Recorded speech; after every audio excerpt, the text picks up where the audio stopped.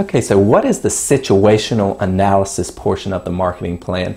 Well, basically, understanding your situation or the market current market characteristics is instrumental in your ability to carry out your marketing objectives. So to start with, you're going to be introspective and do what you've already done in the in different phases of uh, the business development. You're going to look at uh, your SWOT analysis. You're going to do a strength, weakness, opportunities, and threat analysis to see what are your strengths, strengths and weaknesses with regard to your objective and purpose of um, of the marketing plan, of, what you're trying to do with your marketing efforts. Once you understand this, you'll move outside and you'll start looking at market characteristics. Uh, which means you're going to look at your competitors. You're going to try to figure out their characteristics, their strengths and weaknesses. You're going to look at the number of them overall. How many people are you competing with? Uh, what's the market size that they're playing in?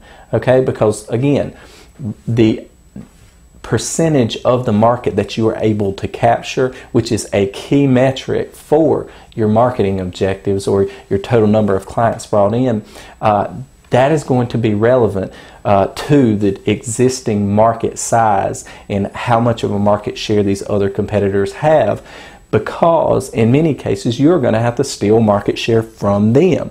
Okay, your product or service may not be expanding the market. It may be that you're competing in a given market set and you're going to have to steal a share from those customers. So, understanding that, the competitiveness of the market. What's the competitive position?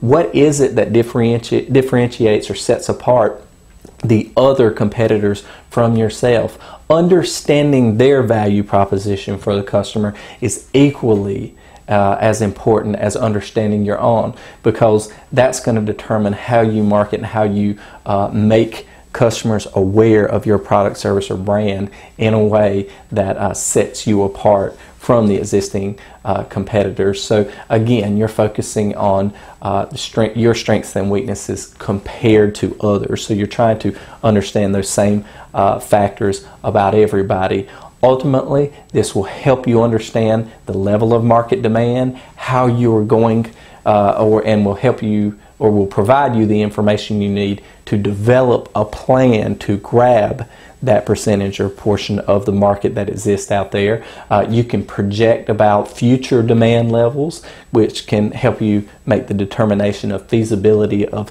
of um, going after a given market segment.